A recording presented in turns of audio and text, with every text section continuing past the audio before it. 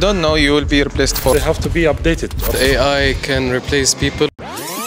Is AI going to replace humans in cybersecurity?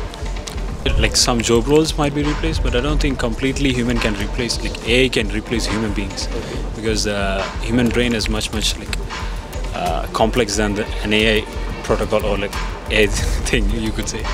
I don't think AI will, will replace cybersecurity. I think if you know how to use AI in cybersecurity, you won't be replaced. But if you don't know, you will be replaced for sure.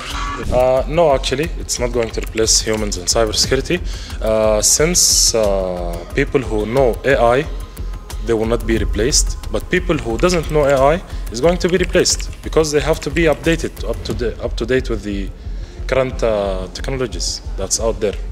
I think that AI can replace people whom do not have enough knowledge in cybersecurity, but I don't think it can replace, you know, professional people in cybersecurity, especially that it needs human supervision. Uh, I don't think so. There is the an AI tools can replace the human intelligence because always the human still creative, still they can generate something the AI cannot generate it. Will replace? I don't think he will replace, but he will help and make the life more easier. Yes.